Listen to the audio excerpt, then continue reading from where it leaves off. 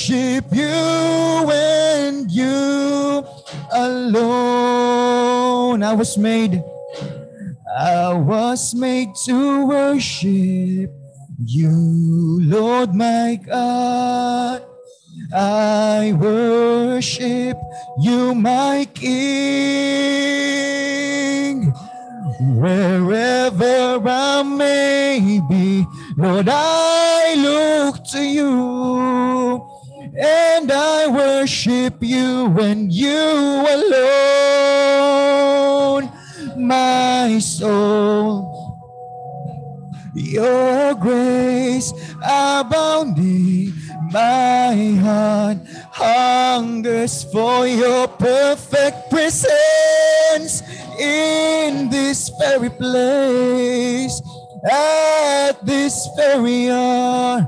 Lord, I worship you and you alone.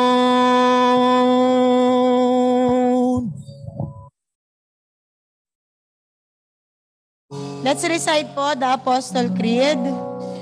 I believe in God, the Father Almighty, maker of heaven and earth, in Jesus Christ, His Son, our Lord, who was conceived by the Holy Spirit, born of the Virgin Mary, suffered under Pontius Pilate, was crucified, dead, and buried.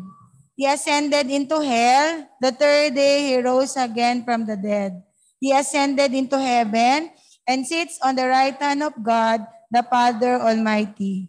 From thence he shall come to judge the quick and the dead. I believe in the Holy Spirit, the holy universal church, the communion of saints, the forgiveness of sins, the resurrection of the body, and the life everlasting. Amen. Tayo po yung mga manalangin. Pangunahan po tayo ni Sister Nonita.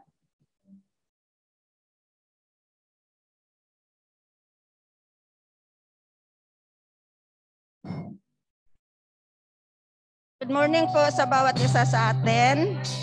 Merry Christmas! Manalangin po tayo. Amang banal, may kapangyarihan sa lahat. Lord, maraming salamat sa umagang ito na tinipon mo po kami upang magsamba sa iyo, magpupuri at magpapasalamat, O Lord. Sa buong linggo, O Lord, na kalakasan. Sa buong linggo, O Lord, na kaligtasan. Sa buong linggo, O Lord, na pagpapala. Maraming maraming salamat, O Lord. Lord, filled us your Holy Spirit sa pagdinig namin, O Lord, ng iyong banal na salita sa umagang ito.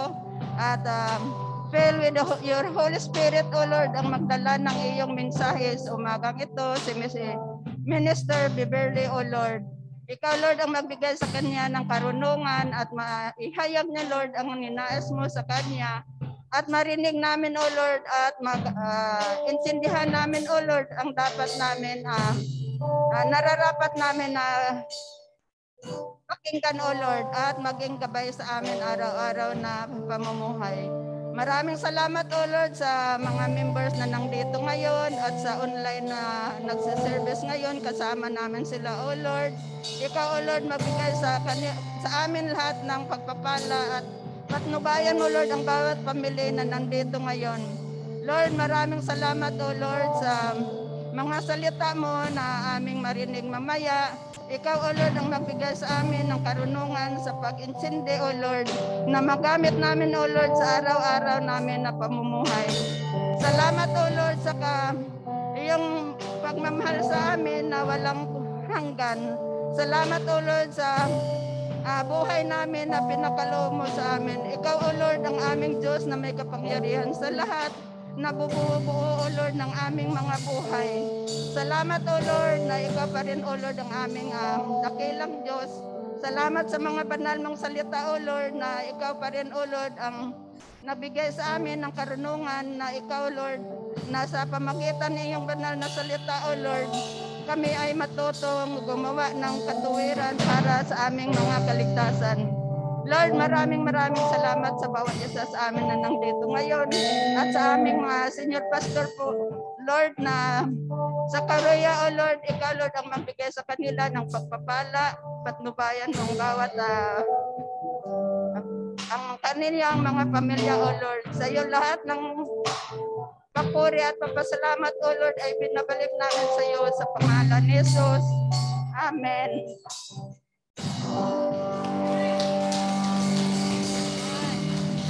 Sige po, mm, bago po tayo mag-worship, pwede po bang humarap kayo sa katabi ninyo? Kahit kayo ay babae, lalaki, basta harap po kayo. Ayan. So, tingnan nyo po yung kanyang mata. Tingin po kayo sa mata, huwag kayo masyado mag-close. Magtitigan po muna kayo.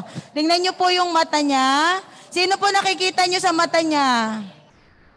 Yan, sarili nyo, di ba? So, pag tumingin ka sa kanya, yung sarili mo, and then siya, yung sarili niya. So, it's a reflection yung mirror, di ba? So, ibig sabihin, sabihin mo sa kanya, ikaw ay ako, ako ay ikaw. Sige po, let's, you say, ako ay ikaw, ikaw ay ako. Ibig sabihin, we are one family. Amen po? Yan. Ulit sabihin nyo, ako ay ikaw, ikaw ay ako.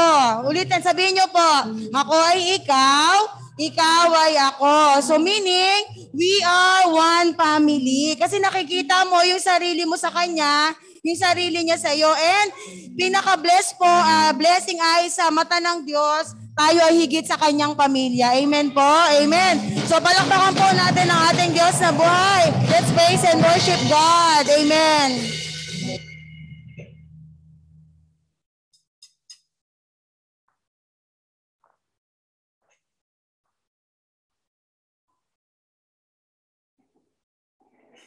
Ayan, na minsan, ayan, narinig niyo po ba ako? Minsan po ay isang maganda at pinagpalang umaga sa ating lahat.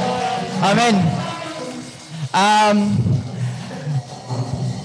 naniniwala, um, the word, His word says that um, the grace of God is sufficient. Amen. The grace of God is always enough. Amen. Hindi nagkukulang ang Diyos even in times when we see na lack is surrounding us, maraming pagkukulang. But the mere fact that Jehovah Jireh, God will provide, it should give us the sense of peace and calm sa ating buhay because God will never let His children go impoverished. If God can clothe ang mga bulaklak, kung kaya niyang damitan ng mga bulaklak with the most beautiful colors, if God can feed the birds, God will surely feed His people. Amen. Amen. Pwede ba nating palakpakan ng Lord? These hands are made to worship Him. Amen. Huwag po nating tipirin ang papuri sa Diyos. Dahil hindi po tayo tinitipid ng Diyos. Amen. Even the youth, mga kabataan, can we just clap our hands? Magaan yan, hindi yan mabigat. Yeah, yeah! Great is your faithfulness, O God. You wrestle with the sinner's heart. You lead us by still waters and to mercy. And nothing, and nothing can keep us apart. Great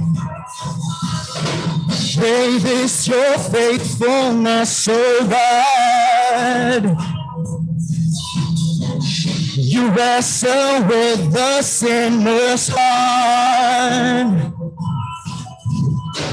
You lead us by still waters and to mercy. And nothing will ever, and nothing can keep us apart. Lord, remember, so remember your people, remember your children, remember your promise, oh God.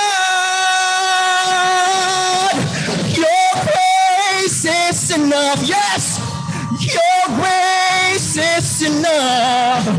Your grace is enough for me. Grace is enough. Your grace is enough. Your grace is enough for me. Wait. Great is your faithfulness, oh God. You wrestle, you wrestle with the sinner's heart. You lead us by still waters and to mercy.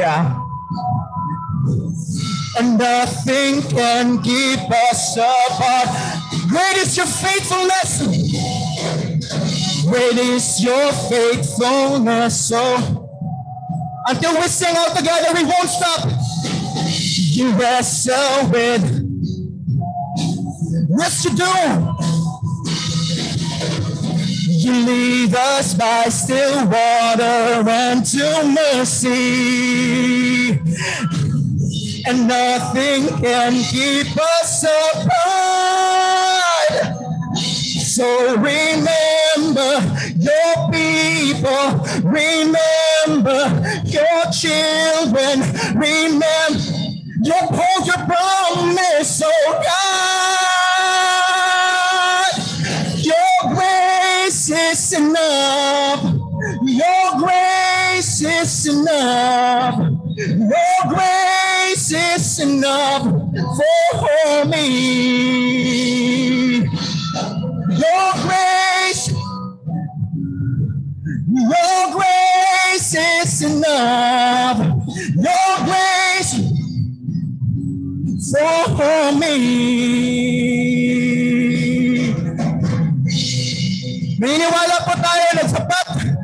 ang presensya at grasya ng Diyos. Amen.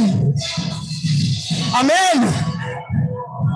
So this morning, we will sing just how great, just how sufficient, just how enough His grace is for us.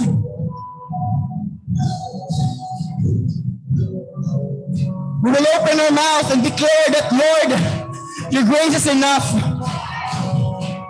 In our family, we will sing, Hey, hey, your grace is enough. Your grace, your grace for me. In a church, your grace, it's enough, it's enough. Yes, it is. Your grace is enough. Sa ating kabuhayan, Your grace is enough. Your grace is enough. Your grace in our ministry. Your grace is enough. Your grace is enough. Your grace for, sa pangangailangan. Your grace is enough. Your grace, oh Lord, your grace for me. So remember, remember your people, remember your children, remember your promise, oh God. So remember,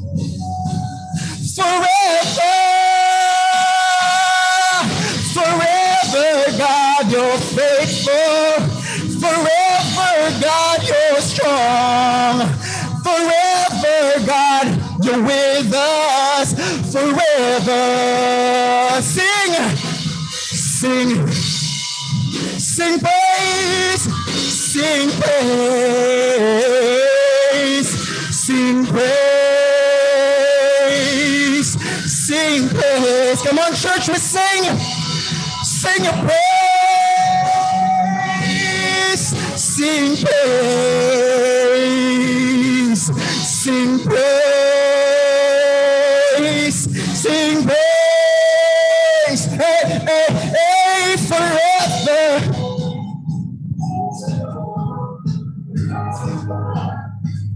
If you believe He is, pwede ba natin ipalakpakan kami natin mataas? Yung buhay, yung mga nag-almusal. Hey! Forever God is faithful. Forever God is strong. Forever. Forever. Minsan pa. Forever God. Oh, you are. Forever God is with us forever.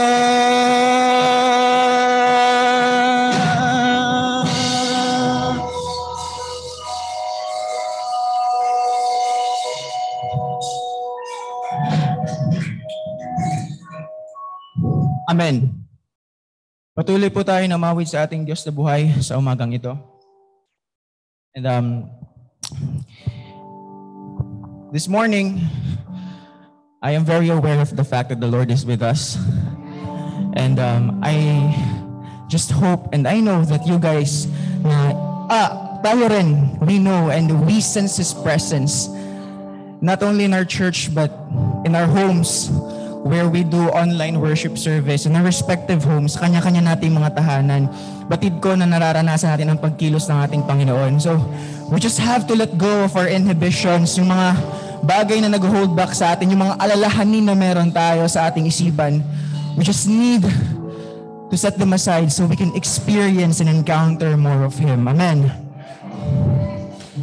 Wherever your presence is, O God, there's peace. There is wonder. There is love. The atmosphere is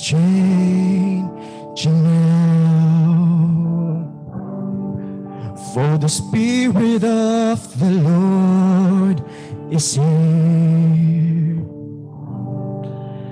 The evidence is all around that the Spirit of the Lord is here. The atmosphere, the atmosphere is changing now. That the Spirit of the Lord is here. The evidence, the evidence is all around that the Spirit of the Lord is here. Overflow in this place. Fill our hearts with your love. Your love surround us. You are. You're the reason we came to encounter your love. Your love surround us. Overflow, overflow in this place. Fill our hearts with your love. Your love surround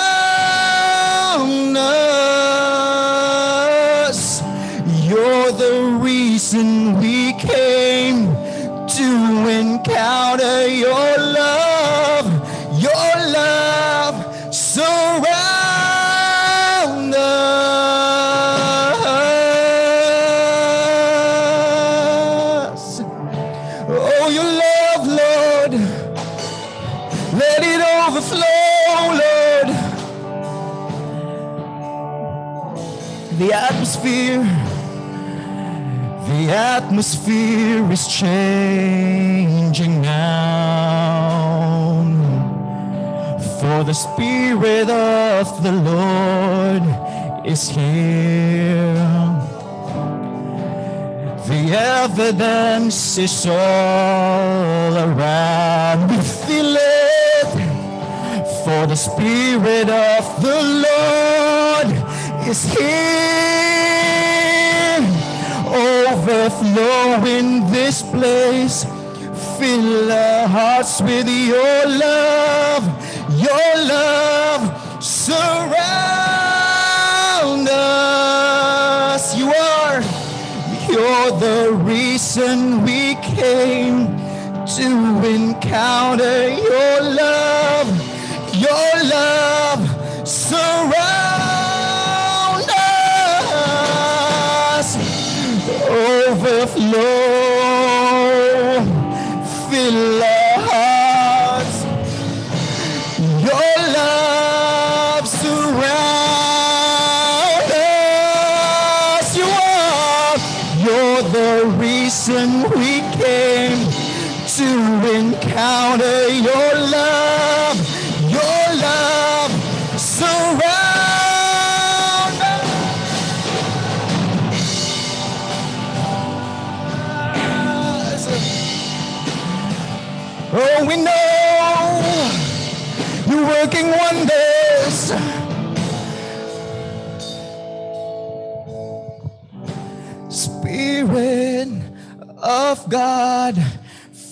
Fresh on us.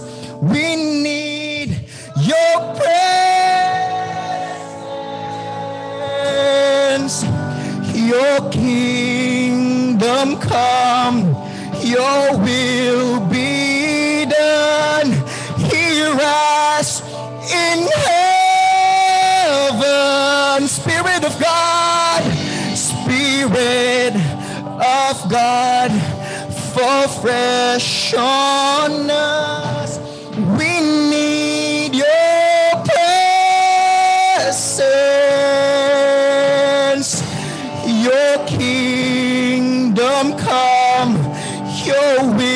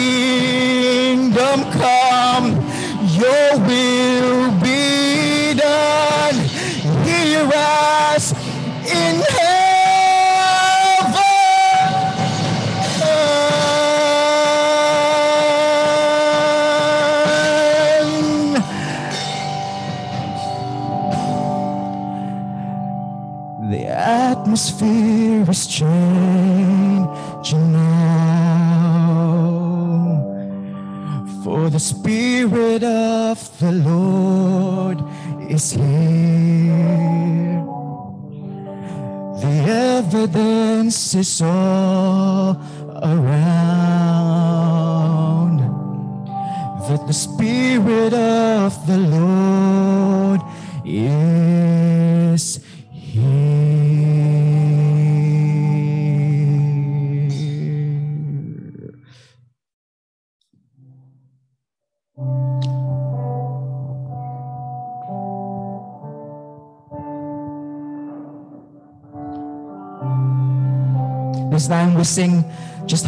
the Lord is to receive praises, to receive all adoration that we can ever give.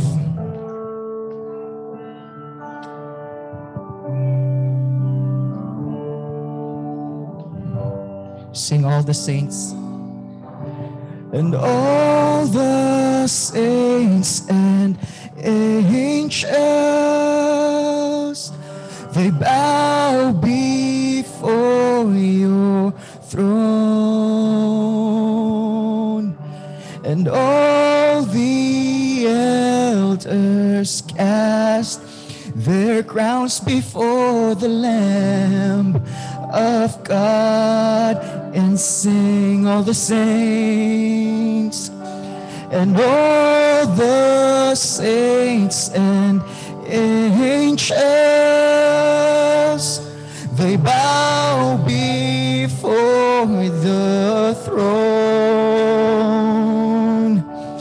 and all the elders cast their crowns before the Lamb of God and sing, You are worthy of it all.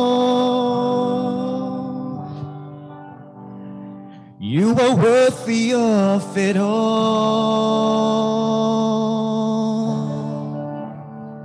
For from you are all things, and to you are all things.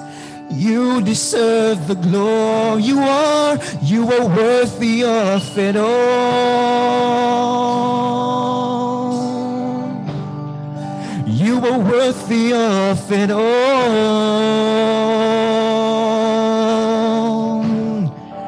For from you are all things, and to you are all things. You deserve the glory. All the saints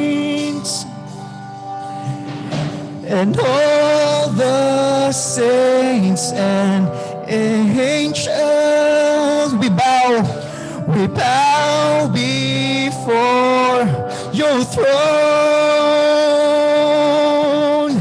And all the elders cast their crowns before the lamb of God and sing you are worthy of it all sing you are you are worthy of it we worship the Lord that is worthy of it all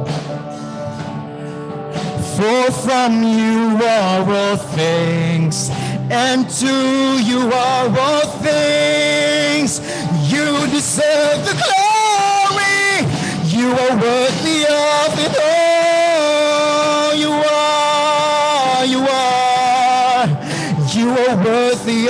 it all.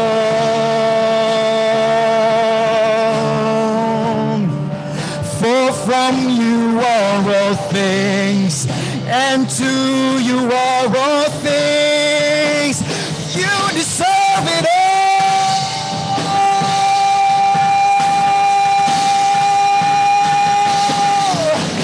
Day and night and night and day, let incense arise. And night and night and day, our praises will rise. Day and night and night and day, let incense arise. Day and night and night and day, let incense arise. Day and night and night and day, our praises will rise. And night and night and day, you are worthy of all. You are worthy of it all.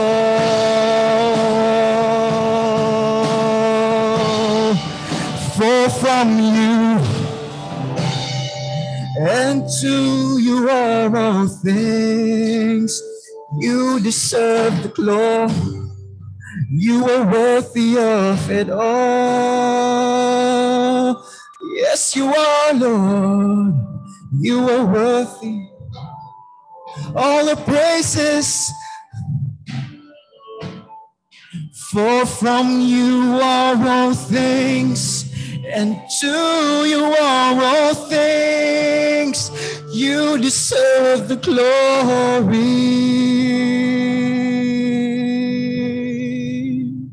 Father, Indeed, you are worthy of it all. Indeed, you're worthy to be praised. You're worthy to be worshipped.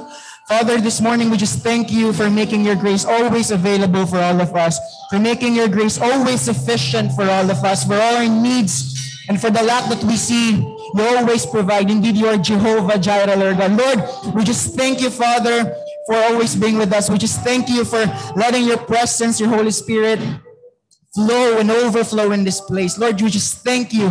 No words could express enough, Lord God, just how we are thankful and grateful to you, Lord God. Lord, misan pa sa umagang ito ay iniaalay namin sa iyong papuri, pagsamba at karangalan sa tanging ngalan lamang ni Jesus. Amen.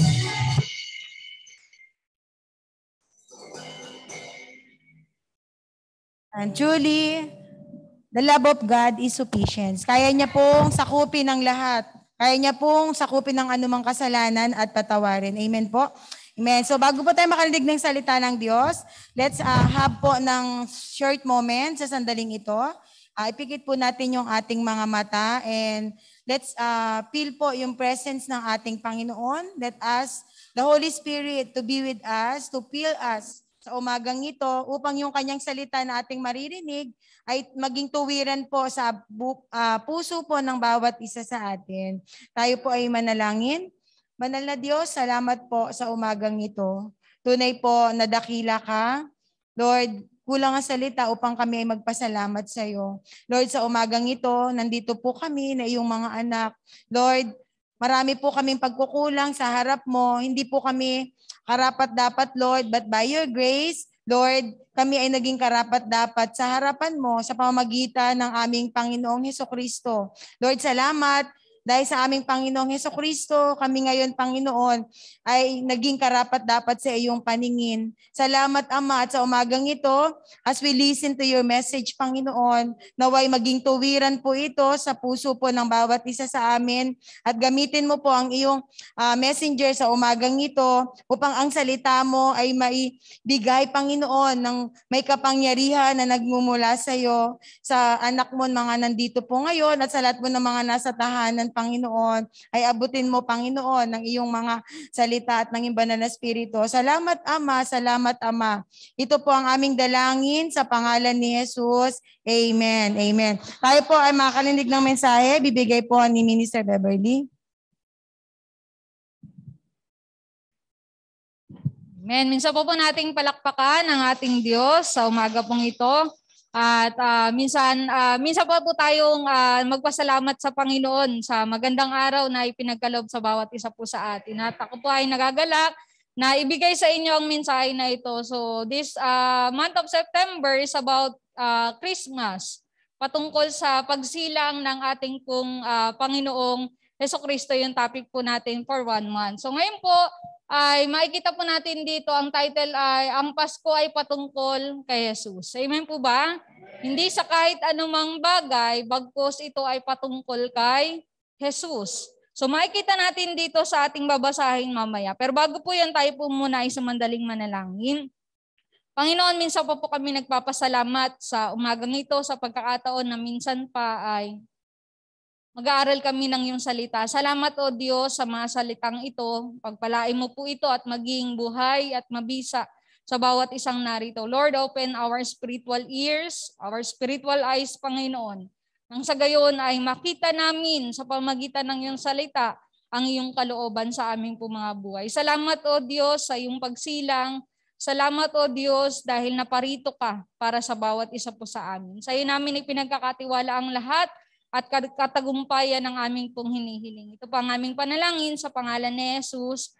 Amen. Amen. Sige po ating pong basahin ang aklat po ng uh, Mateo chapter 1, verse 18 up to verse uh, ah, 25. So last Sunday, ang natapos po tayo until uh, verse uh, 7, 17, or uh, binasa po doon yung talaan ng mga ninuno ni Heso Kristo. So ito po yung kadugtong niya, ang um, pagsilang ni Heso Kristo. So makikita po natin dito, basahin po natin, kayo po ang mauna sa uh, verse 18.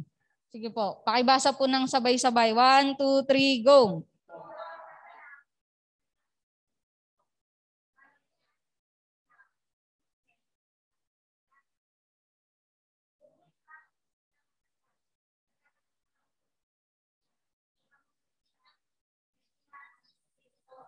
Verse 19, Subalit dahil isang matuwid na tao si Jose na kanyang mapapang-asawa, Ayaw niyang ayaw nitong malagay sa kahiyan si Maria.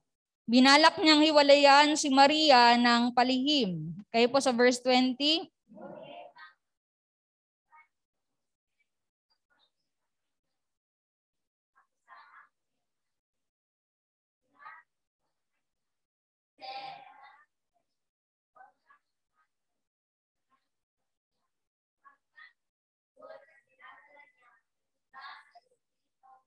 Verse 21, magsisilang siya ng isang batang lalaki at Jesus ang ipapangalan mo sa sanggol sapagkat ililigtas niya ang kanyang bayan sa kanilang mga kasalanan. Kaya po sa verse 22,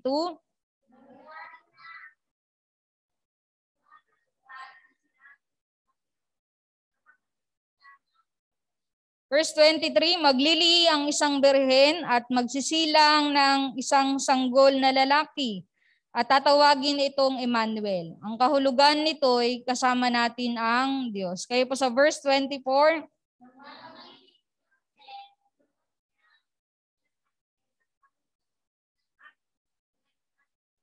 Verse 25, Ngunit hindi niya sinipingan si Maria hanggang magsilang ito ng isang anak na lalaki.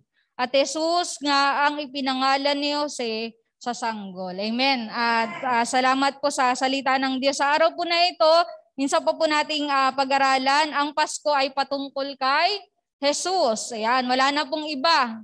Kung, uh, kung para saan ba ang Pasko, bakit nagkaroon ng Pasko. Ito po ay upang alalahanin ng pagsilang ng ating pong Panginoong tagapagligtas. So makikita po natin dito, sa binasa po natin, yung pagdadalang tao po ni Maria ay napakala, napakahalaga sa ating mga Kristiyano. Amen po ba?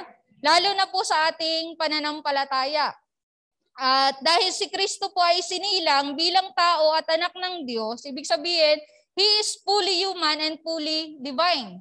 Hindi lamang po siya tao, kundi siya rin po ay Diyos. Dapat malinaw po sa atin yon bilang isang mga Kristiyano kasi may mga naniniwala na tao lamang si Kristo. Pero malinaw na binanggit sa kanyang salita na nagkatawang tao. Sa pamagitan ng banal na Espiritu Santo, kaya si Jesus ay isinilang sa mundo.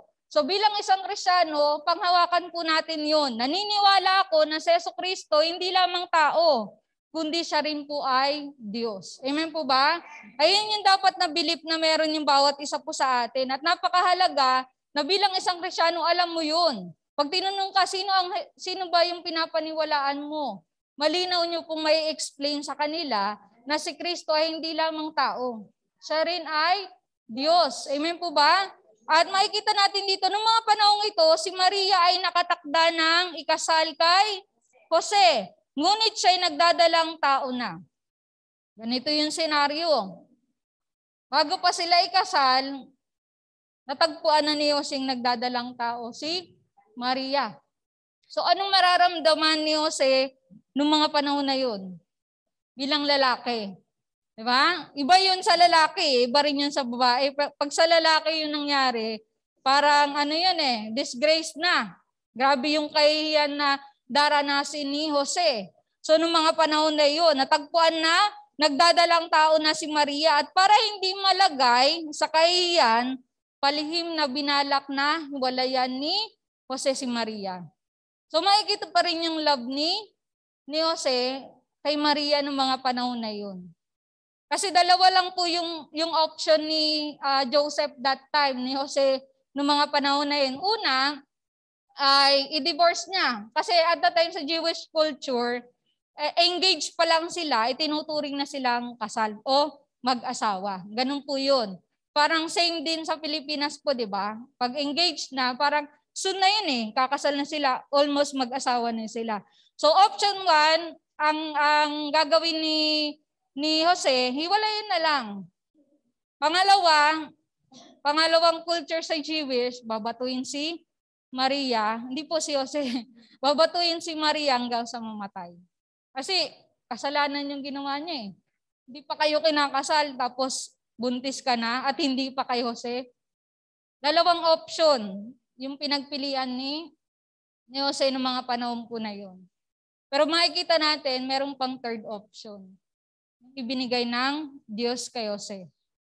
Mga panahon na yun. Grabe yung kahihiyan na pwedeng daranasan ni Jose dahil sa nangyari kay Maria ng mga panahon po na yun. So sa number one, makikita po natin dito, ano ba yung Pasko? Patungkol kanino ba yung Pasko na yun? Patungkol saan yung pagsilang ng ating Panginoong Yeso Kristo. Number one, makikita po natin dito, ito po ay isang himala yung pagdating ni Jesus, yung pagsilang ni Jesus ay isang himala. Amen po ba? Bakit po? Sa verse 18 hanggang verse 20, ang sabi po dito, ito ang naganap ng ipanganak si Yeso Kristo. Si Maria na kanyang ina at si Jose ay nakatakda ng magpakasal. Ngunit bago sila makasal, nagdadalang tao na si Maria sa pamagitan ng kapangyarihan ng Espiritu Santo. Subalit dahil sa isang matuwid na tao si Jose na kanyang mapapang-asawa at ayaw nitong malagay sa kahiyan si Maria, binalak niyang hiwalayan si Maria ng palihim. So bakit po tinawag na ito ay isang himala?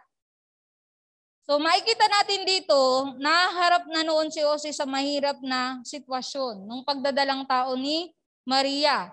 Kaya yung sinabi ko po kanina, meron siyang option 1, at meron din siyang option 2 na pagpipilian kung ano yung gagawin niya para malutas yung sitwasyon ng mga panahon po na yun. Ngunit ang Diyos, meron po siyang inilaan pang third option para kay Jose. Ano po yon? Para sa verse 20, makikita po natin dito, ngunit habang pinag-iisipan ito ni Jose, nagpakita sa kanya sa panaginip ang isang anghel ng Panginoon. Sinabi nito sa kanya, Jose, anak ni David, huwag kang matakot na pakasalan si Maria sapagkat ang sanggol na dinadala niya ay mula sa Espiritu Santo. Ito yung pang third option na ibinigay sa kanya ng Diyos. Nagpakita sa panaginip ang isang anghel at sinabing, huwag kang matakot na pakasalan si Maria sapagkat siya'y nagdadalang tao sa pamagitan ng banal na Espiritu. Ito na yung sagot dun sa mahirap niyang sitwasyon na naaalisin siya dun sa kahihiyan na yun. Meron pa palang sagot ang Diyos para sa kanya. Para sa kanya, ilan lang yung option? Dalawa lang. Iwalayan niya or hayaan niyang mamatay si Maria, batuhin ng mga tao dahil dun sa kasalanan. Pero ang Diyos, nagbigay sa kanya ng third option. Amen po ba? Sa atin bilang isang mga Krisyano, ano po yung pinapakita po dito? Sometimes we have yung maraming option, pero hindi natin nakikita yung option ng Panginoon, yung sagot ng Panginoon. Kung hindi nagpakita ang anghel kay Jose, noong mga panahon na yun, maaaring pinili niyang hiwalayan si Maria. Amen po ba? At ito ay isang himala. Nandun na siya sa, sa disgrace na yun eh. Kahihiyan na yun para sa kanya bilang isang lalaki. Pero God knows, alam lang Diyos kung ano ang gagawin niya. Meron pang third option. Pakasalan mo siya kasi hindi siya nagkasala. Siya ay nagdadalang tao sa pamagitan ng banal na Espiritu Santo. At that time, ayun yung himala ng pagsilang ni Heso Kristo. Amen po ba? Parang titingnan natin, gabi yung ano eh, pwedeng kahihiyan na daranasan ni Jose noong mga panahon po na yun. Pero mas pinili niya napakinggan yung mensahero ng Panginoon. Amen po? Ganon din po sa atin bilang isang Krisyano. Ang pagdating ni Kristo sa iyong buhay ay isang himala. Amen po? Dati tayong makasalanan, pero nung tinanggap mo si Kristo, unti-unti kanyang binago. At iyon ay himala. Nandun tayo sa kahihiyan na para yung buhay natin walang maipagmamalaki sa harapan ng Diyos. Lord, hindi ako karapat dapat. Pero dahil sa biyaya ng Panginoong Diyos, lahat po tayo, di ba? Lahat po tayo nakaranas ng miracle. Amen po ba? Palakpakan po natin ang Diyos. Kasi hindi lamang yung pagsilang ni Jesus yung himala sa atin. Bagkus even yung buhay mo, isang himala na yan. Amen po? Alam niyo po ba, ang isang sanggol, ito po ay maituturing na blessing. Napaka-blessing ng mag-asawa. May mga mag-asawang hindi magkaanak. Di ba? Na para bang, Lord, anong ginawa mo para sa amin? Parusa ba ito? Bakit hindi kami magkaroon ng anak? May mga ganong senaryo po. Kaya nga pag isinisilang ang sanggol, grabe yung, yung joy na meron yung isang magulang. Tama po, di ba? Ganoon yung ginawa ni Jesus para sa bawat isa po sa atin. Nung isinilang siya, hindi lamang galak, di ba? Celebration yung ibinigay. Kaya nga every Christmas, nagsa-celebrate po tayo ng Pasko. Kasi isinilang ang Heso Kristong tagapagligtas. Grabe yung joy na ibinigay niya sa mundo. Hindi lamang isang bansa, kundi buong mundo nagsa-celebrate ng Christmas. Kasi yung Kristo ay isinilang tagapagligtas na aaon sa akin mula dun sa kahihiyan na meron ng bawat isa po sa atin. So makikita po natin dito na sa buhay natin na dumating si Jesus, ito po ay ganap na himalang maituturing. Dahil binago niya po tayong lahat, bakit nagawa niya tayong baguhin? Dahil naranasan niyang maging tao. Ipinanganak siya ni Maria. Alam niya kung ano yung ating kahinaan. Alam niya kung ano yung ating kalakasan. Alam ng Diyos kung ano yung pangailangan ng bawat isa po sa atin. Amen po? Ito pong si Mateo, yung sumulat po nito, hindi po siya nag-focus dun sa mga uh, physical needs, bagkus nakita niya dito yung spiritual needs ng mga tao. Nakapokus po siya dun sa pangailangan spiritual ng mga tao. Yun yung pinakang focus ni Mateo, yung author po nito. So makikita natin dito, ang ating pong Panginoong Yeso Kristo, dumating ang kanyang pagsilang maituturing na himala. Mula sa kahihiyan ng kanyang magulang, di ba, ni Jose, at ni Maria nung panahon na yon, ang Diyos ang gumawa ng himala para maging maayos ang lahat. Kung babalikan natin yung last uh, sermon, di ba? Sabi nga doon, uh, kung i-compare yung history ng pagsilang ng ating Panginoon, wala po itong kaparehas sa ibang mga kwento, yung mga uh, magagandang story, magagandang kwento, wala pong kaparehas. Di ba? Nung time na isinilang, maaaring patayin siya ng mga panahon na yon, pero gumawa pa rin ng way ang Diyos para iligtas si Jesus. Wala tayong narinig na ganong story sa mga book, kundi ang Diyos lang yun. Amen po ba? Para sa Diyos lang yun. Inilaan iyon, yung kwento na yun, para sa ating pong Panginoong Yeso Kristo. That's why, ang pagsilang ni Jesus ay isang himala. Sa bawat isa po sa atin. Pangalawang bagay, si Jesus ay naparito upang makasama ka. Amen po ba? Hindi lamang siya isinilang para iligtas ka, kundi makasama ka. Sabi niyo nga po, makasama. Yan. Di ba pagka may bisita or something na dumating, bakit ka narito? Wala, gusto ko lang makasama ka. Ang sarap sa puso. Yeah, di ba? Ang sarap sa puso. O, ba't nandito ka? Gusto ko sitang makasama eh. Ah, di ba? Sarap. Parang yung puso mo, wow, di ba? Important ako sa tao na ito. Gusto akong makasama. Ang ating Panginoong Yeso Kristo na parito upang makasama ka. Amen po? Naparito siya para makasama ka. At iyon ay magbibigay sa iyo ng pagtibok sa iyong mga puso. Na wow, isinilang ka dahil gusto mong makasama ako bilang iyong mga anak. Ang sabi po dito sa verse 21, basahin ko po para sa inyo, magsisilang siya ng isang batang lalaki at Jesus ang ipapangalan mo sa sanggol sapagkat ililigtas niya ang kanyang bayan sa kanilang mga kasalanan. So makikita natin dito, number one, na parito si Jesus hindi lang para makasama, bagkos iligtas po tayo sa ating mga kasalanan. So ibig sabihin yung pangalang Jesus, nangangahulugan ng ang Panginoon ang nagliligtas. O yung Jesus, the Lord saves.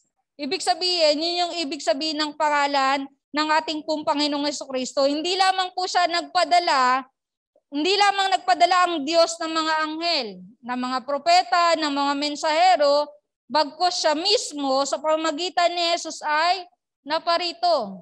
Amen po ba? Pwede siyang magpadala na lang ng anghel. Pwede siyang magpadala na lang ng propeta para iligtas yung mga tao sa kasalanan. Pero ano po nangyari? Pumarito. Sabi niya po, pumarito. Nagpunta, pumarito, isinilang ang ating Panginoong Yeso Kristo. Siya mismo Di ba pagka may boss ka, minsan may secretary, sila yung humaharap. Tama? Kasi mataas yun eh. Hindi mo pwedeng paharapin doon sa mga eh, nag apply or something nag interview Hindi mo pwedeng paharapin yung mga amo, yung mga boss. At yung representative lang yung parang humaharap. Nung panahon na ito, si Yeso Kristo mismo, siya mismo ang naparito para makasama ka. Special pala tayo. Wow, di ba? Grabe pala ako ka special sa Panginoon. Mataas siya, pero siya mismo, pumarito, isinilang para sa akin. Ha? Hindi ka isang presidente, masigit ka pa sa isang presidente. Kasi pumarito ang Panginoon para sa iyo. Amen po ba? Kasi itinuturing kanyang anak. Amen po? Ang isang magulang, ganun yung puso. Mas gugustoy man naroon ka kaysa sa isang representative. Amen po? Ganun ang Diyos. Ayaw niyang may isasent lang na anghel para iligtas ka. Mga anghel may pakpak, di ba? Kapag ang tao nagkasala, asagipin ka lang. Hindi ganun ang Diyos eh. Nais niyang siya mismo makita kung ano yung sitwasyon ng kanya. Oh, that's why ikaw ay special. Kasi naparito ang sanggol para makasama ka. At hindi lamang po iyon, nais ng Panginoon na makita po natin na ang biyaya po niya palagi sa atin ay sapat. Enough iyon. Hindi nagkukulang. Sabi niya po, sapat. Sapat yun. Ibig sabihin, hindi nagkukulang. Nais ang Panginoon na makita natin ito na isang biyaya na ginawa niya para sa bawat isa po sa atin. Siya po ay naging malapit sa atin at tinupad ni Jesus ang propesiya sa Isaiah chapter 7 verse 14. Makikita po natin doon na siya ang ating Emmanuel. Kasama natin ang Diyos. Yeah, basahin po natin yung verse 14 ng Isaiah. 1, 2, 3, go! Dahil dito, si Yahweh mismo ang magbibigay sa inyo ng palatandaan. maglili ang isang dalaga at magsisilang ng isang sanggol na lalaki at tatawagin sa pangalang Emmanuel. Amen po? Ang ating pong Panginoong Kristo, si Jesus ay Diyos na nagkatawan tao, kaya naman tunay na nakasama natin siya. Amen po? Hindi natin pwedeng sabihin kasama natin ang Diyos kung hindi siya nagkatawang tao, kung hindi siya isinilang dito sa mundo. Amen? So makikita natin dito, He is with us. Sabi niya po, with us. Kasama natin, kasakasama natin kasi isinilang siya bilang isang tao. At makikita natin dito, sa tulong ng banal na Espiritu, si Jesus ay nasa buhay ng mga mananampalataya. Ang sarap po ng pakinggan, nasabi ko po kanina na parito si Jesus upang makasama tayo. Kaya naman naiintindihan tayo ni Jesus at na dahil siya mismo ay naparito para sa atin. Ayun po yung lagi nating tatandaan. Ang pangalang Jesus, yung Emmanuel, ibig sabihin kasama natin ang Diyos. Ano ibig sabihin ng Emmanuel? Kasama natin ang Diyos hanggang saan? Hanggang saan? Nakasama natin ang Diyos. Palagi. Amen po? Palagi nating kasama ang Diyos. Ayun po yung ibig sabihin nun. Hindi lamang kasama kapag ikaw ay nasa masayang sitwasyon. Hindi lamang kasama kapag ikaw ay nasa maayos na sitwasyon. Sinasabi po doon, palagi kasama natin ang Diyos. Kasi nung isinilang siya sa mundo, doon nag-start yung salitang Emmanuel. Nang ibig sabihin, kasama natin ang Diyos. Lagi mo siyang kasama. Amen? Nandun ka man sa sitwasyon na ikaw ay nagdurusa, malungkot, kasama mo pa rin ang Diyos. Hindi mo man siya nararamdaman, pero kasama mo siya. Umiiyak ka, pero kasama mo ang Diyos. Sinasabayan ka niya sa pag-iyak. Amen?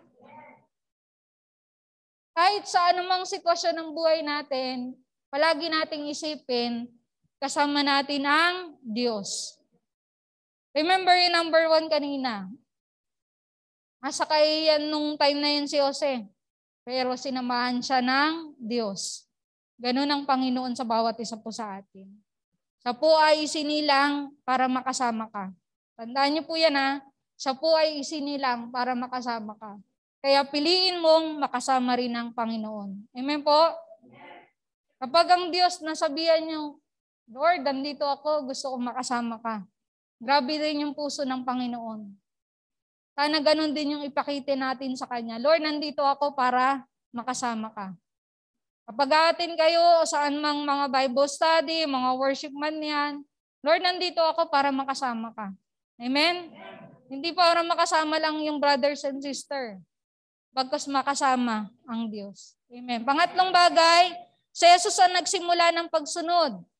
Makikita po natin sa verse 24 hanggang verse 25, nang magising si Jose, sinunod niya ang utos ng anghel ng Panginoon at pinakasalan niya si Maria. Ngunit hindi niya sinipingan si Maria hanggang magsilang ito ng isang, isang, isang anak na lalaki at Jesus nga ang ipinangalan ni Jose sa sanggol. Number one na sumunod sa kalooban ng Diyos, si Jesus muna. Amen po ba? Yung, yung pagpunta niya, yung pagsilang niya sa mundo, ito ay act of obedience niya sa kanyang Diyos Ama.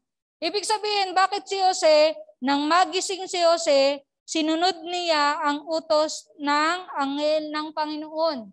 Mabilis, pagising ni Jose, agad-agad sumunod siya sa anghel ng Panginoon.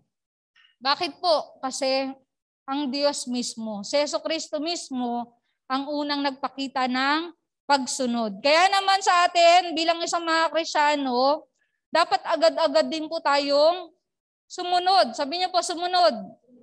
Dapat agad-agad din yung pagsunod natin sa kalooban ng Diyos. Kasi meron nang nagpakita ng halimbawa eh. Kaya nga si Jose nung panahon na yon, mabilis siyang sumunod. Paggising niya, ay, papakasalan ko na itong si Maria. Di ba? Grabe yung obedience niya sa ating pong Panginoon, Panginoon. Dahil merong nagpakita na ng pagsunod ang ating pong Panginoong Yeso Kristo. So makikita po natin dito Sa buhay natin bilang isang Krisyano, nais ng Panginoon na makita yung ating tunay na pagsunod sa Kanya. Katulad po nitong si Jose, naway mabilis din tayong sumunod sa kalooban ng Diyos at naisin nating sumunod palagi kaysa unahin ang pagsang-ayo ng ibang tao. Amen po? Hindi niya inisip yung sasabihin ng ibang tao. Bagkos yung inuna niya, yung sumunod muna sa kalooban ng Diyos. Pakasalan mo si Maria sapagkat yung dinadala niya ay bunga ng banal na Espiritu Santo. At ayun yung nais ng Diyos sa makita po natin sa ating po mga buhay. Kung siya mismo yung nagsimula ng pagsunod, dapat susundan natin. Mali po ba ang sumunod? Hindi. Tama ang sumunod. Pero sa atin mga Krisyano, ang bagal natin minsan. Lord, tanungin ko muna si ano ha. I-consult ko muna kay ano ha, bago ako sumunod sa'yo, sa kalooban mo. Nais ng Panginoon, agad-agad. Sabi nga mga Korean, pali-pali, mabilis yung pagsunod. Pa? Ayun yung nais ng Panginoon na makita po sa atin. Kristyanong mabilis sumunod sa kalooban ng Diyos. Huwag nating iisipin yung sasabihin ng ibang tao. Huwag nating iisipin kung ano yung magiging um, papel natin sa harap ng ibang tao. Bagkos, naisin nating palaging unahing sumunod sa Diyos. Ano po yung tinutukoy po doon? Sa atin bilang isang Krisyano, we have yung uh, different talents. May kanya-kanya tayong kaloob eh. Na minsan, naharangan. Kasi iniisip natin yung iisipin ng tao. Approve ba ito para sa kanya? Diba? Pero kapag ka inisip mo yung kalooban ng Panginoon, go. Accept and obey dun sa kalooban ng Diyos. Amen po ba? Sa conclusion po natin, ang Pasko po ay hindi patungkol sa atin. Tandaan po natin yan. Hindi ito patungkol sa atin. Hindi patungkol sa kahit anumang regalo. At lalong hindi patungkol sa mga pagkain na ating pong ihahanda. Amen? Huwag kayo mag-focus doon, ay, anong ihanda ko, anong iririgalo ko, anong susuotin ko sa Pasko. Hindi po doon nakapokus ang Pasko. Nakapokus ito sa pagsilang ng ating Panginoong Yeso Kristo. Ang Pasko ay patungkol lamang kay Jesus na kasama natin palagi. Dahil kay Jesus, naranasan po natin yung iba't ibang himala. Amen po? Sa ating po mga buhay. Si Jesus ay naparito upang makasama ka at si Jesus ay sumunod bilang pasimula din ng iyong pagsunod. Sumunod siya, nais niya ang anak niya, sumunod din. Amen po? Kung ano sinasabi ng salita ng Diyos, sundin mo. Huwag mo isipin yung ibang tao. Pagkos ang Diyos ang kanyang kalooban. At ang sabi po doon, tandaan natin, Emmanuel, palagi nating kasama ang Diyos. Amen po? Ang Pasko ay patungkol kay Jesus. And tungkol sa Kanya, hindi sa atin. Hindi tayo yung bida. Kundi sino yung bida? Si Yeso Kristo lamang. Bida nagpakumbaba para sa atin, para makasama ka. Ibig sabihin, tinuturing kanyang minamahal na anak. Lalahanin natin ngayong darating na Pasko na isinilang ang aking Panginoon para sa akin. Ito ay isang himala. Para makasama ako, yung pinakahanlasa, sabi ko po kanina, di ba? Ito ang pasimula ng ating pong pagsunod.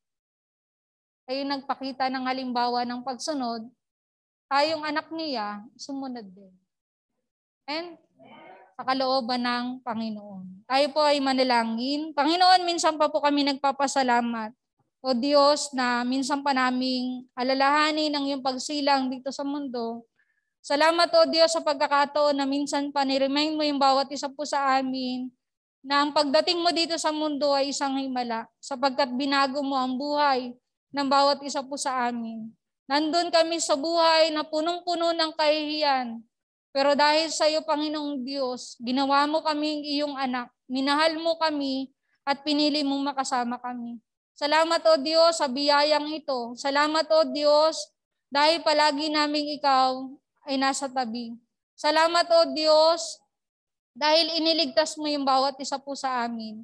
Tunay po Panginoon na walang ibang dapat pasalamatan, walang ibang dapat na itaas sa araw ng Pasko, kundi ikaw lamang o Diyos. Salamat sa kabutihan mo. Salamat sa iyong pag-ibig o Diyos. Salamat dahil sapat ang biyaya mo sa bawat isa po sa amin. Sa iyo namin ipinagkakatiwala ang lahat. Sa iyo ang papurit pa sa salamat. Ito pang aming panalangin sa matamis sa pangalan ni Jesus. Amen. Palakpakan po natin ang Panginoon.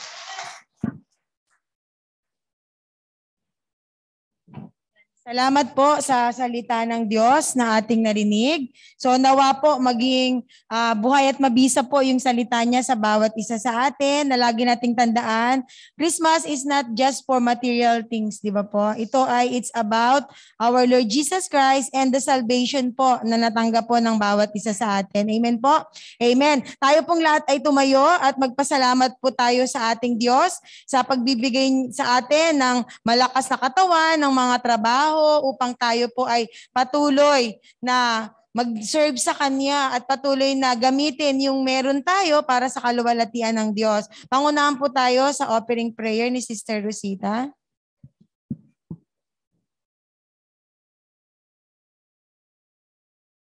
Nalangin po tayo.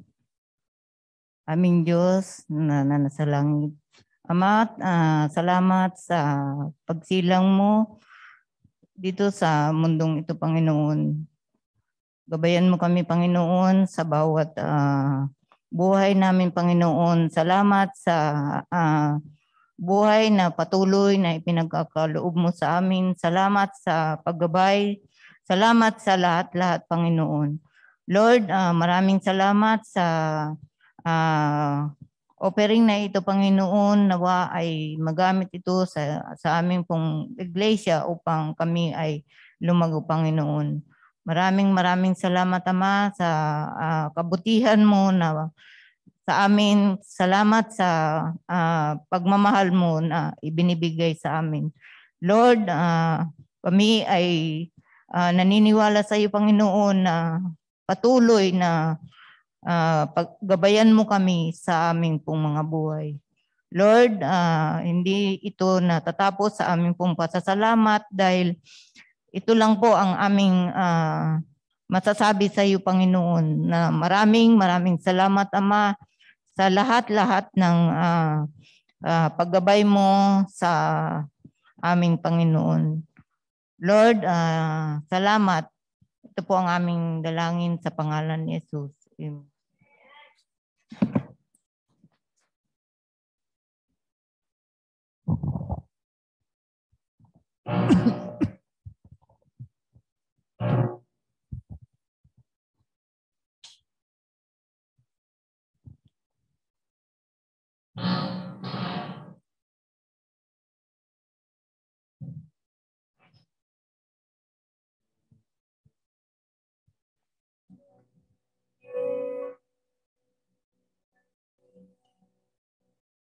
Give thanks with a grateful heart. Give you thanks.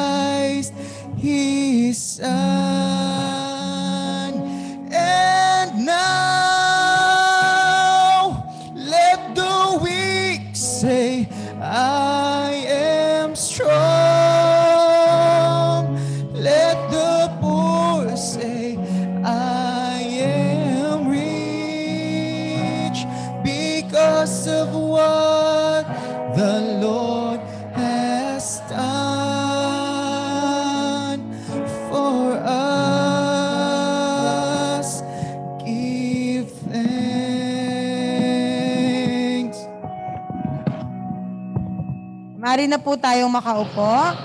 At ako po tayo sa ating announcement. So sabi po sa ating announcement, number one ay Merry Christmas. Sige po.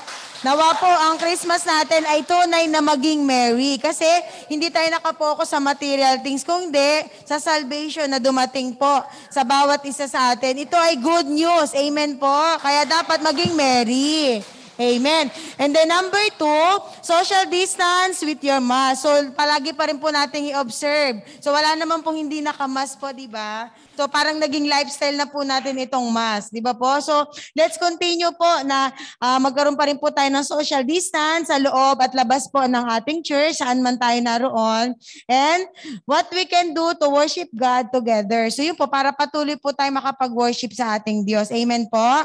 Amen. So number three, Lamp Youth Fellowship, mamaya pong 4 p.m., online and offline po. So meron pa rin pong uh, youth, continually po sila. And then number four po, yan, in December, uh, pasensya na po, mata ko, December, our minister and Pastor Kim will speak the Christmas-related sermon, Remember Jesus and His saving grace for our eternal lives. So buong December po, ang maririnig po nating sermon ay about po sa Christmas. Amen po. So, kaya every Sunday po, let's expect po na yung mga ririnig nating mga sermon ay related po sa Christmas. So, let's remember po ang ating Panginoong Heso Kristo and yung grace po para tayo magkaroon ng eternal lives.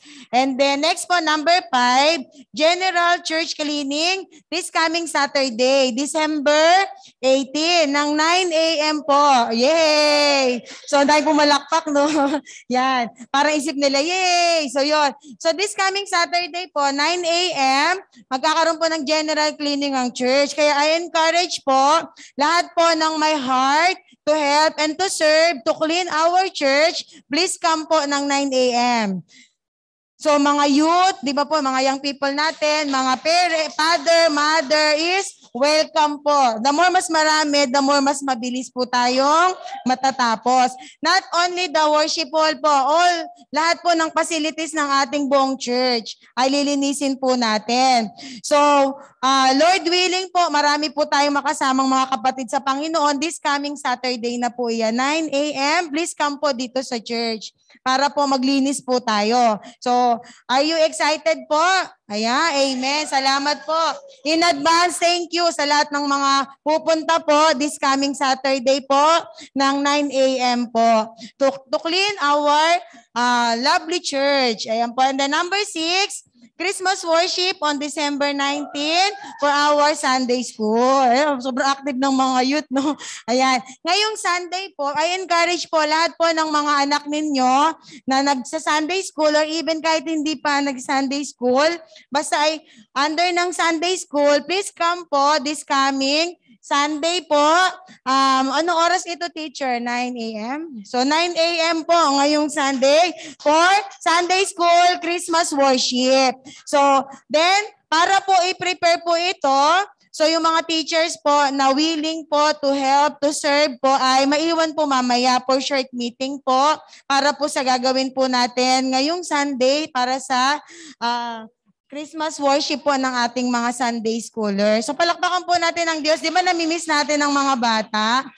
Baka pagkakita natin sa mga Sunday school, malalaki pa po sa atin. Di ba po? So, I encourage po, paki-announce na lang din po sa mga members po natin sa lugar ninyo. This coming Sunday, mga Sunday school ay may worship po sila ng 9 a.m. So, uh, gagawin namin yung best namin para maibigay sa kanila yung best na ano po, worship. Amen po para sa Lord. So, I encourage po lahat ng Sunday school to ano po, to stay po after worship para po sa preparation and meeting po ng saglit lang po. And then next po, ay meron pa po ba? Brother Lauren. So wala na po tayo doon. So salamat po palapakan natin ng ating Diyos. And meron po ba tayong mga first comer ngayong uh, umaga na to? Mga first time? To, uh, to welcome po? Wala naman po. Ha, sige po. Since wala na po, tayo pong lahat ay tumayo and let's declare po itong congregational prayer statement with faith po and with conviction. Sige po, let's start. Panginoon, Pinagkakatiwala po namin sa iyo ang aming bansa, ang nagtatakda ng lahat ng bagay. Bigyan mo po ng katatagan ang aming mga pinuno sa bansang ito upang magkaroon sila ng karunungan kung ano ang gagawin sa lahat ng sitwasyon. Naway, pagpalain mo po ang aming bansa. Amen. Panginoon, kahit may kinakarap na pagsubok ang aming bansa, dala ng pandemya, nakikita po namin ang pagkilos at biyaya mo. Salamat po sa pandemyang ito dahil ginigising mo po ang lahat ng tao na tumawag sa iyo at magtiwala lamang sa iyo. Amen. Panginoon, pagpalain mo po ang bawat miyembro at pamilya ng aming simbahan. Patuloy mo pong ipakita sa bawat isa sa amin ang iyong pag-ibig, habag, biyaya at katarungan. Naway yakapin po namin ang iyong pag-ibig sa tuwina. Amen. Panginoon, salamat po at dinala mo ang bawat isa sa amin sa iglesyang ito upang sama-sama kaming magpuri at sumamba sa iyo. Patuloy mo pong gamitin ang iglesyang ito upang maging pagpapala sa marami. Amen. Panginoon, nagpapasalamat po kami sa buhay ng aming pastor, missionary at ministers. Pinagkakatiwala po namin sa iyo ang kanilang buhay. Patuloy ka pong maghari sa kanila at puspusin mo po sila ng iyong banal na spirito sa lahat ng kanilang ginagawa. Amen. Let's sing the Lord's Prayer song.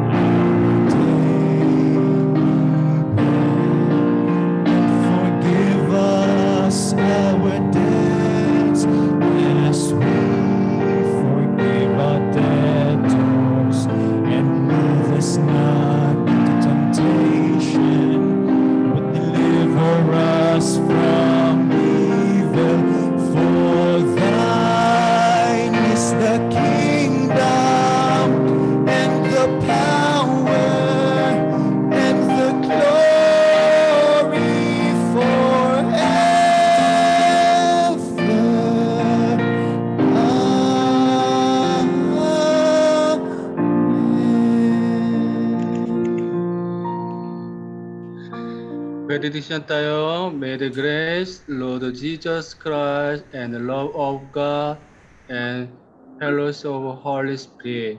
We will all change peace members and grace peace church answer. Amen.